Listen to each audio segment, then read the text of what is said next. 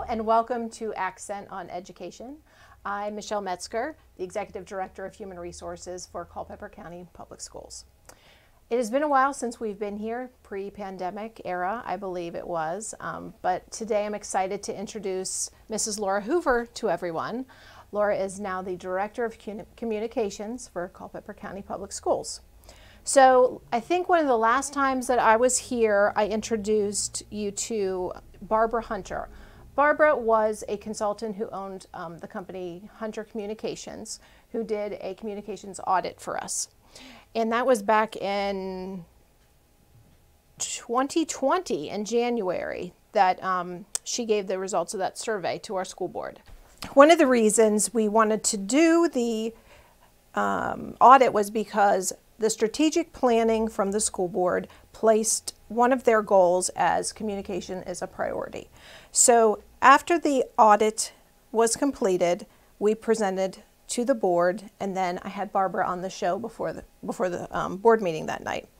So during that January of 2020, the things that she did was she surveyed our employees parents. She had interviews with different folks. She had um, some panels and she reviewed all of our internal documentations.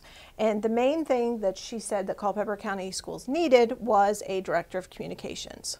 So as of July 1st, Laura has been with us, so I'm going to let you uh, let her talk a little bit about her background, her experience. She is a Culpeper native, and talk about herself a little bit. Fauquier native. That's okay. native, I'm but you live here. Culpeper resident. yes. Um, well, thanks, Michelle. It's really exciting to be here and to be the Director of Communication for Culpeper County Public Schools.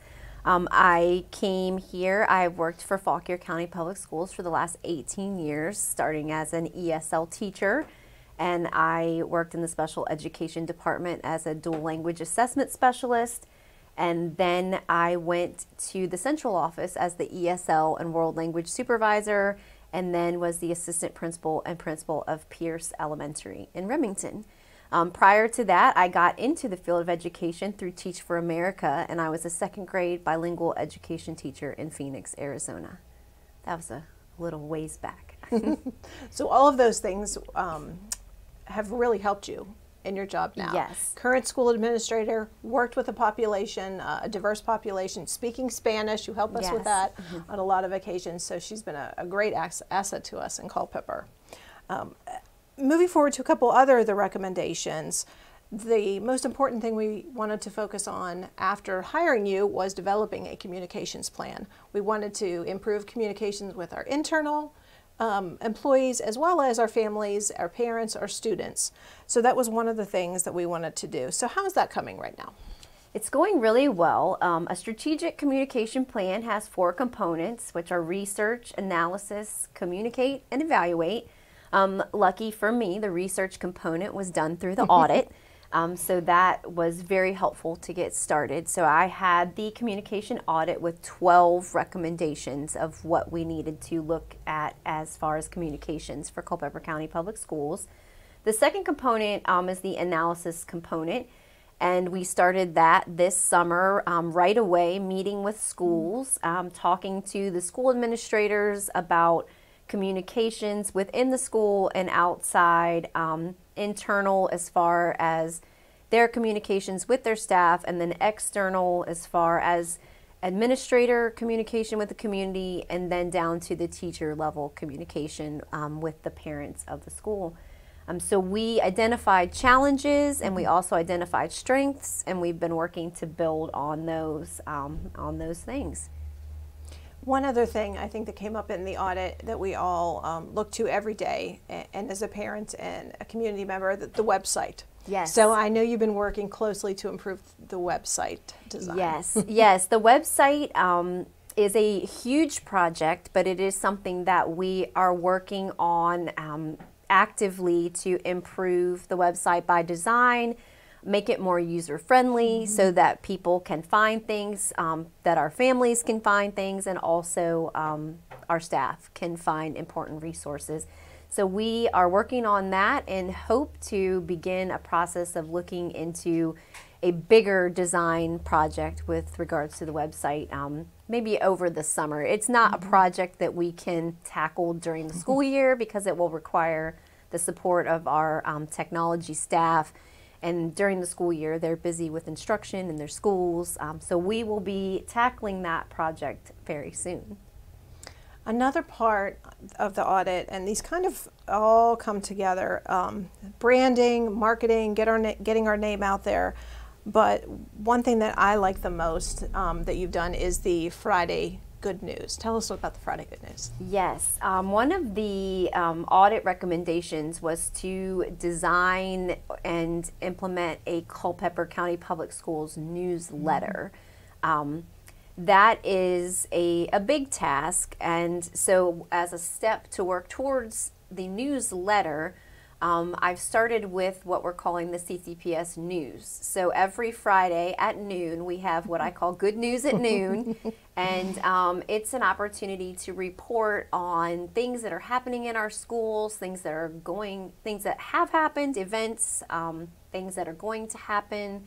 Um, and they typically are a um, news release. Um, some the schools are sending me information. And one thing, looking to the future when we um, move into moving forward next year, is that we want to create a school news network. Identify mm-hmm. school news liaisons at each school that I can work directly with to um, get the news out because there's so many amazing things happening in our schools every day and so such great work by the teachers by the students and we want to make sure we get those things out um, so people know the great things that are happening. and there are a lot. Yes, there are. Things that I don't even know about that, that mm-hmm. you point out every week. Uh, along with the good news, a couple of the other things that the audit brought about to our attention was um, we needed to work a little bit more about our crisis communication. I know you've been working on that. And then also with our growing ESL population, we have the Family Resource Center. Yes. So we, tell us about how we've been, you know, improved our procedures for communicating with those families. Yes, well, prior to the audit, um, it's my understanding, and, and you can correct me if I'm wrong, we didn't have the same structure that we have mm-hmm. now for translators Correct. and interpreters at our Family Resource Center. But now we have a system in place at the Family Resource Center. So if anyone needs assistance with translation or interpretation in any language, they contact the resource Family Resource Center and they have a team that works with them. They also they work with parents, they work with schools, they translate and interpret for meetings, for events. They do the weekly calls, they translate all of our division level communication, and they are amazing. so they have been so helpful to me, and it's been really exciting to, to work with them. So that is one piece that I think that some people probably don't realize mm-hmm. that we do um, we have recently expanded the Family Resource Center to not only include that component, but it also um, has expanded to what we're calling Family Resource Center Connections that has a large meeting space for community mm. um, entities to work with us to do workshops and meet needs of the community. There is a collaborative workspace that includes our English as a second language staff and special education parent resource um, person. And also, they have a section called Latitudes that's a food and clothing closet um, that families can um, call them if there's, or call the school and work with the school counselors to access those things if they need them. It's a beautiful space. It is. It's amazing. And we've um, had, I know they've had a lot of um, community meetings and outreach and things happening there already. So it's been very, it's a good location and yes. people have been able to come. They've been doing workshops in English and in Spanish as mm-hmm. well. Mm-hmm. Um, some of the things they've worked on um, helping parents understand internet safety for their kids. Mm-hmm um, so stay tuned for more information about workshops that are going on there. Excellent. So, another part of your job, besides this huge undertaking of communications, is grant management. So, you are also managing some of this large pile of federal money that we are getting. So, do you want to talk about that just a little bit so people know what grants you know that we have going on and just some a few of the projects? Yes, um, part of um, my background when I was um, working with the um, ESL program um, before I came here, I also worked with the Title III federal grant and the other um, title grants. So that gave me that background in grant management. Um, so when I came on here, I had that background that I could apply to the federal pandemic relief grants. Um, there have been many. Um, The CARES grant, um, ESSER 2, ESSER 3, there's an HVAC grant. There's quite a long list, and um, it requires a lot of work and a lot of management. Um, and we are very thrilled to have the opportunity to um, access those funds for our students to help bring everybody back from, from the pandemic. But it is, um, it's definitely a big chunk of what I do. And right it's not now. just that they're giving you free money. Right. People think you're, oh, here's a million dollars, but there are a lot of different ties to that money and procedures you have to follow, and things are allocated to different specific areas. So, Yes, um, each grant has its own rules, it has its own purpose, um, and we work through each one of those with each department. Um, but they're allowing us to do some pretty great things um, for our, our students and our school community. so looking ahead to the spring, what are some exciting things Culpeper schools are, are looking forward to? Oh, goodness. We're looking forward to a very busy spring of, of activities and exciting things um, on the communication front.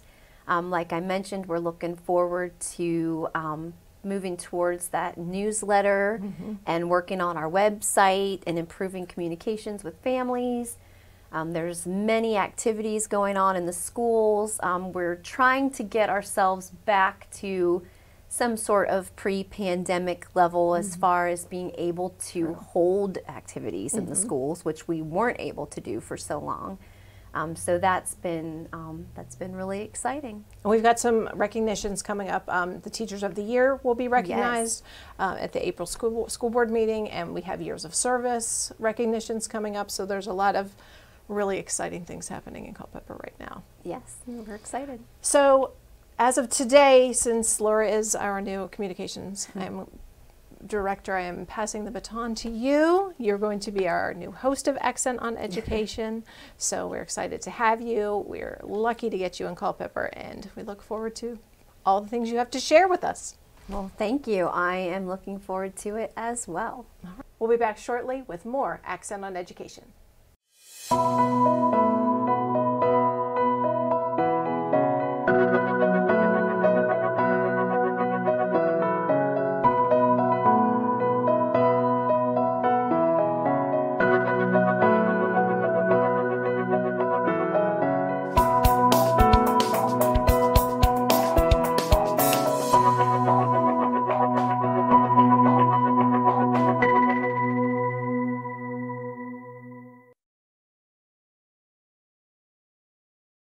Welcome back to Accent on Education. I'm Laura Hoover, Culpeper County Public Schools Director of Communication, taking um, this spot um, from Mrs.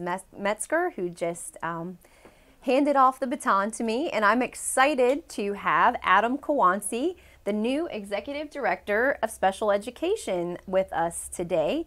Adam started his role with Culpeper County Public Schools on August 2nd of 2021 and I'm excited um, to introduce him to the community. Um, so, Adam, thanks for being here. Thanks for having me. Glad to be here. So, tell me about your background experience that has led you to this position in Culpeper. It's a rather long story, but I'll keep it brief. My mother was a educator for 30 years in special education, and so as a child, I watched her educate students with disabilities. And as I developed and grew, I started participating in various programs that involve students with disabilities as a mentor, and then as a college student, I supported extended school year programs in my local uh, school division uh, when I would come back from the summer.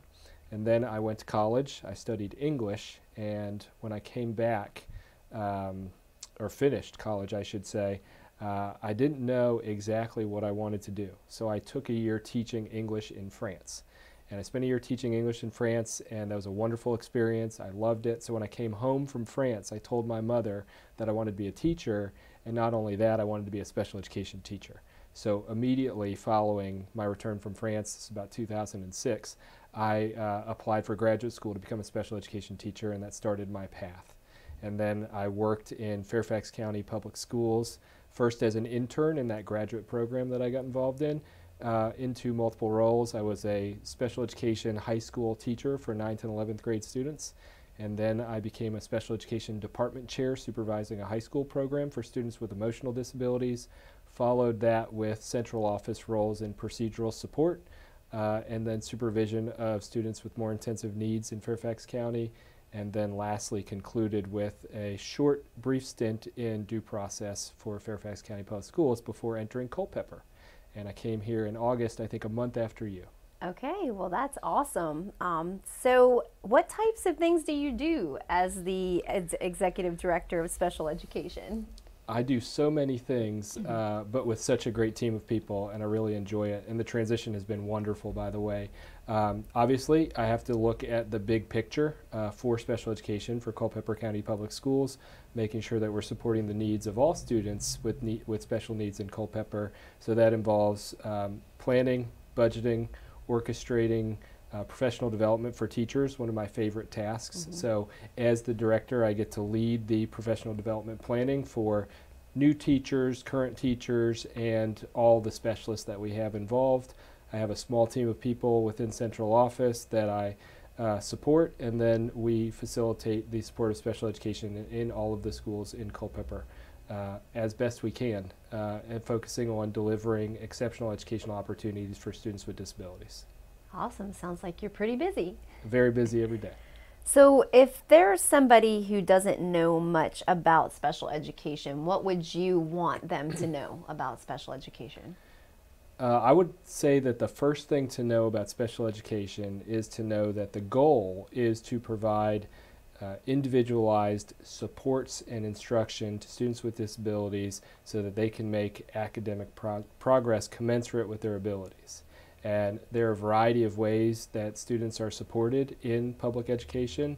Uh, that involves primarily the delivery of specially designed instruction, and that has been a personal charge of mine recently is to make sure that we are consistent in our understanding and delivery of specially designed instruction and I've come up with a very succinct way of describing it. And so what I tell our new teachers is that what we want to do is do something specific, supportive, and intensive for every student in Culpeper County. So we specifically identify their needs and their challenges. We find and identify the supports they require, and then we deliver it at the intensity they individually require to make their progress. All right, that sounds great. Now, you mentioned new teachers. What would you say is something that is attractive about Culpeper County Public Schools um, for a new teacher who's looking for a school division? So I have had the opportunity to work in the largest school division in the Commonwealth, and now I'm working in, I think, what we would consider a moderately sized school division. And the primary difference uh, that I have from experience is that new teachers in Culpeper County Public Schools can get direct support from central office as we described, the professional development that we focus on, making sure that they're supported, they're mentored, making sure that all of their uh, questions can get answered in a very fast uh, and competent way. And I think that it's a great environment to learn and to be supported by your colleagues. Uh, it's such a community feeling in a, in a division this size, specifically Culpeper. I've observed just how tight knit our communities are within each school. The cultures and the climates of the schools are great. I think all the teachers feel supported. At least that's the feedback that we're getting. And so it's been really great to see how much that can happen. In a larger division, you're one of thousands, right? So you don't necessarily get the frequency of contact with those that are intending to support you as much as you can in Culpeper.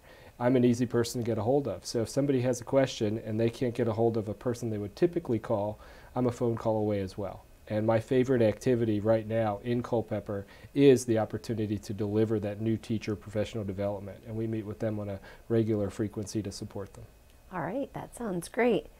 So we've been talking a lot about um, coming back from our unfinished learning and learning loss from the pandemic, and it's had a great impact on student learning.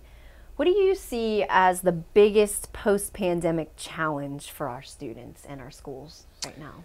Well, and this goes for all students, not just students with disabilities, but we are returning to, uh, I don't want to call it a, a normal experience, mm-hmm. right? It's our new normal, more typical perhaps. And what we're trying to do is make sure that the learning to learn behaviors that were existent before the pandemic show up every day with the students that we are now supporting in person. So as much as the teachers have separated from the educational environment, so have the students. We're all coming back together and we're now navigating the challenges of being in that very stimulating social environment. And so making sure that we are accepting where everybody is as we return, acknowledging the, the degree of individual functioning and making sure that we are appropriately addressing where every student is at this time. So every student had an impact by the pandemic, and now I'll speak a little bit more about students with disabilities the pandemic impacted each individual student in a different way. Mm -hmm. So mm-hmm. some students were able to flourish in a virtual environment, others maybe had some more challenges. And so we have to take individual steps to address the individual learning loss of each student. I think we've done that.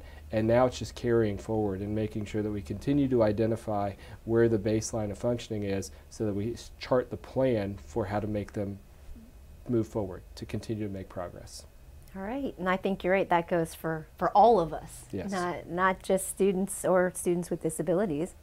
All right. Well, you recently moved to Culpeper, and um, you have are here with your family. So, what are some of the things that you like about living in Culpeper now? Well, I'll highlight. So, we did recently move. We moved shortly after I took the position in August, and this goes back to that question about new teachers, and I can tell you what I like about Culpeper, and perhaps it suits my personality and the personality of my family, um, but I love our geographic location. Mm -hmm. We are not so far a distance from Washington, D.C.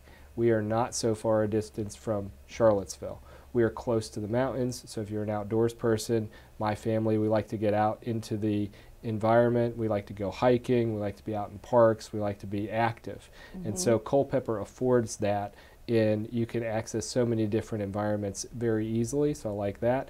Um, I certainly enjoy getting out to all of the food options that are available mm -hmm. in. Culpeper. I'm pleasantly surprised with the high quality of restaurants uh, in Culpeper, especially downtown. So uh, many things to, to enjoy about Culpeper. Uh, but even beyond that, I found the entire community, my neighborhood, and everybody in it very welcoming. And so uh, we just like being around uh, the community and socializing and interacting with everybody. It's been great. All right, well, that's great. Well, we are so glad that you are here in Culpeper. We'll be back with more Accent on Education.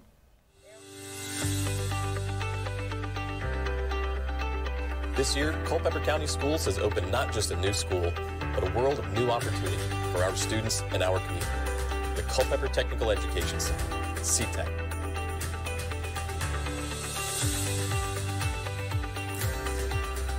Hi, I'm Sean Summerscales, and I'm the proud principal of the Culpeper Technical Education Center.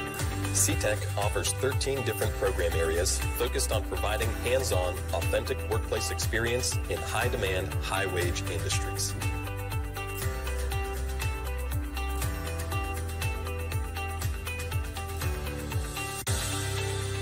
looking forward into this like whole program. Hopefully to learn different kinds of things, like learn how to read a blueprint, learn different kinds of tools and different kinds of new skills.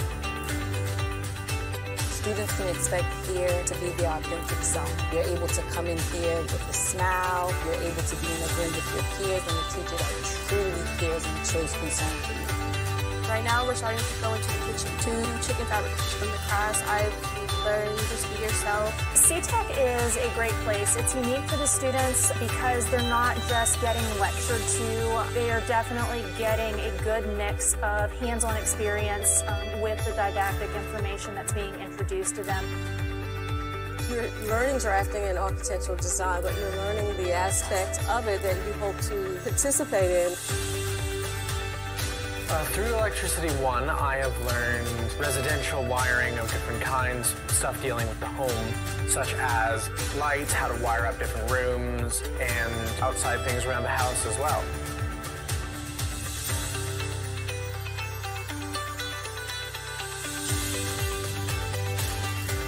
I came in this class barely knowing how to do CPR and just kind of knowing the basics first aid, and as of now, I know a lot. We were CPR certified in the second week. We learned basically everything about the human body.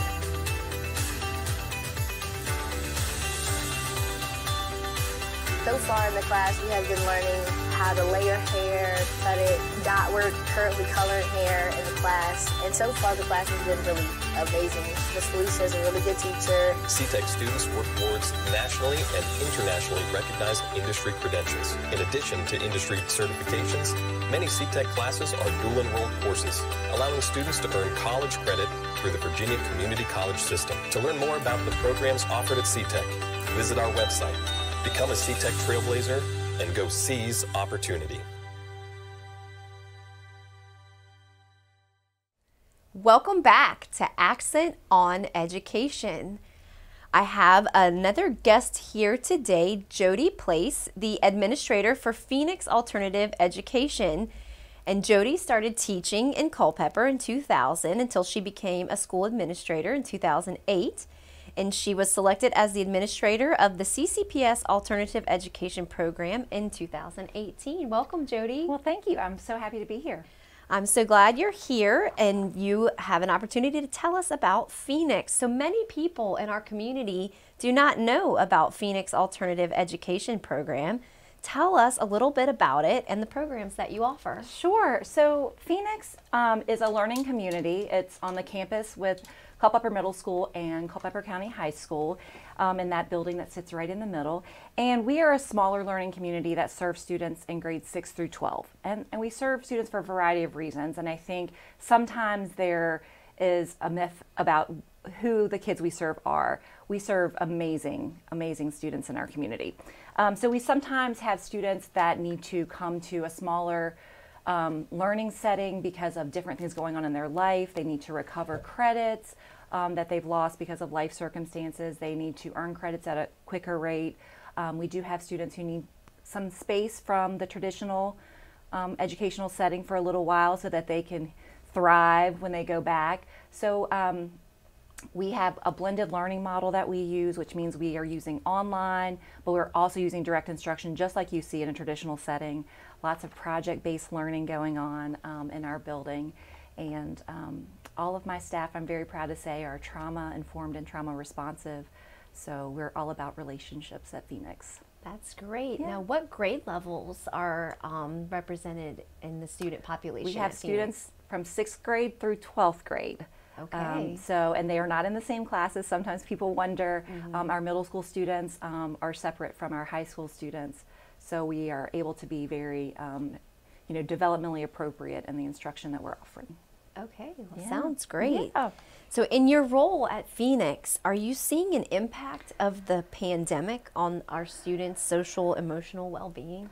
There's no question. I'm not sure that any educator would say they're not seeing an impact um, unfortunately. But um, so many students are in a place where they're having to heal from this period of having lots of chronic unpredictability, um, increased isolation from their school community or their community at large, um, and a lot of the anxiety and fear that came with, you know, the pandemic life. So I think that what we're seeing is as students have come back into um, school, we're, we're seeing that, and what we know is that our brains operate best when we feel like we're in a place of safety and belonging.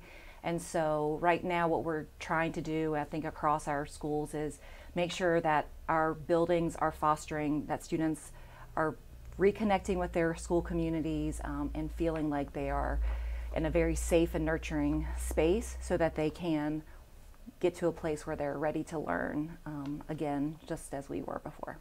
Well, great. Well, one yeah. of the things that I have seen because I've had the opportunity to visit you at um, Phoenix is there's a lot of artwork um, that's on display yeah. in the hallways. How are you using art to address those student needs and as a part of your instructional program? So during my very first year as administrator at Phoenix, um, I just happened to witness something just as an educator that was just phenomenal. I, I can't think of another word that I would use where I would see when students started engaging in something very creative um, and you know artistic and hands-on, you would watch this calm come over them.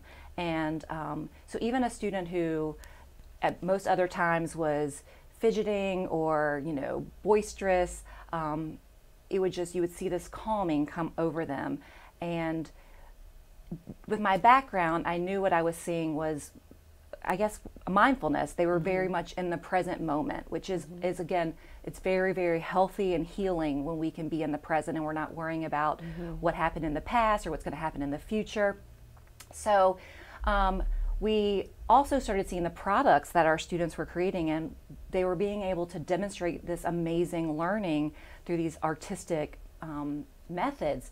So um, I was very fortunate that at the end of that year, um, and one of my paraprofessionals, Maryaway Dawson, um, who is an amazing artist in our community and works with a lot of different individuals in our community in the arts, um, she wanted to have this event at the end of the year, which was an arts and accomplishments showcase. Mm-hmm. And so we transformed our entire building into this like walking gallery. You could walk through and you saw all of these amazing products. Um, and we invited our students and their families, and it was absolutely wonderful. And um, I think that it was such a celebration. So I've been so fortunate that Dr. Brad's support and the school board support um, and Miss Dawson was able to become a certified teacher. Mm-hmm. So I now have a um, full time um, art teacher at Phoenix. And um, because of the pandemic, we weren't able to continue having that event during during those the last two years. But we are so excited that we're going to bring it back because I think what you'll see when you see all of the products that our students have created across curriculums, it's not just about an art class. We're um, incorporating it in across all of our content areas because students can so creatively show what they're learning in the most beautiful ways of communication. Um, and so, and I think it also allows um, them to see themselves and others to see them in a different way. And so um, it's something that we definitely want to put out there for others to see. And so we're excited that we will be having that again That's this year. Great. Yes, it's Miss Dawson is in full planning mode. Um, so we will make sure that um, you have that information so the community has that information.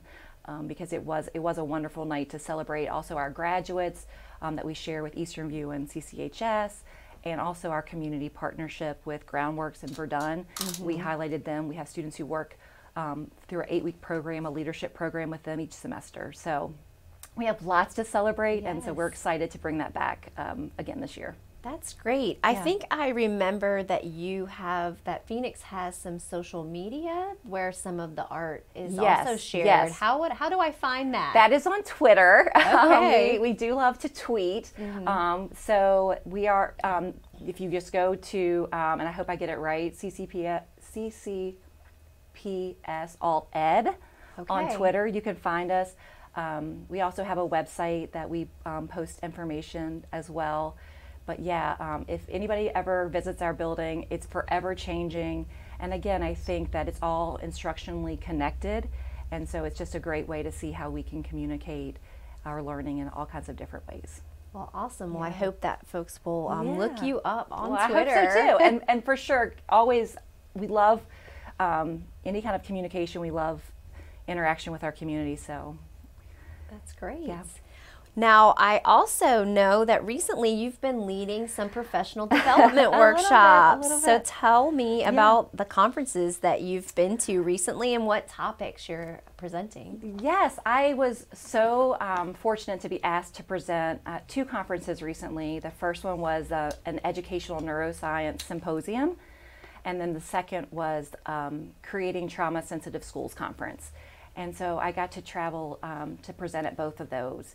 And um, essentially, so my background and I guess my great interest and what I bring to Phoenix is grounded in, four, there are four pillars of what's called an edu- applied educational neuroscience framework. Mm-hmm. Um, and that sounds, I'm not a neuroscientist even on TV. Um, but what that means basically, there are four areas that we really can focus on to make sure that we're um, addressing all of a student and adult's needs in our building. And so that would be an educator's brain and body state. If we make sure our adults are doing well, that is going to translate to them helping our students do well. Touch points are all about relationships and making sure that we are creating these spaces where students feel safe and like they belong and they're seen and heard. So it's all relational. Um, Co regulation. So that's where you're seeing sometimes when we're experiencing really big emotions or lots of stress or chronic adversity, we don't always make our best decisions or we sometimes emotions get away from us.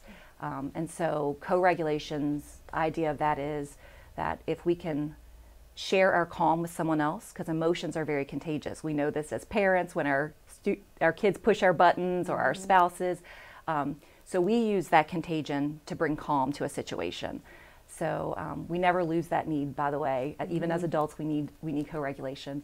And then the last one is teaching about neuroanatomy. So my staff and my students learn all about their brain and body states, so that they're better equipped to handle stressors and adversity, and even past traumas um, that they're experiencing. It- When you know more about yourself, you can handle things, and you have the tools in your toolbox to handle things um, in such a better way. That's great. Yeah, it's it's honestly it's so exciting. I could talk about it a, a lot, but um, the kids I think are really, you know, I think they are really excited about it when they learn things, and I think it normalizes some of the things that they're experiencing, um, which I think ultimately again helps them this this sense of belonging, like. Like okay, it's okay to be angry, but what do you do so that you can handle that appropriately? Yes. Well, that's awesome. Yeah, it is.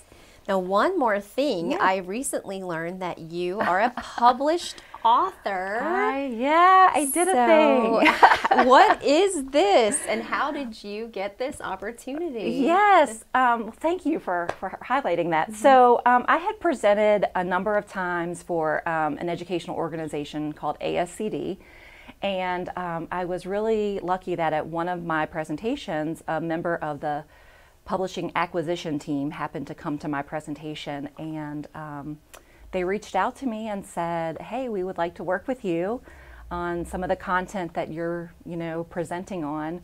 So um, my first love is English. I was an English teacher for many, many years.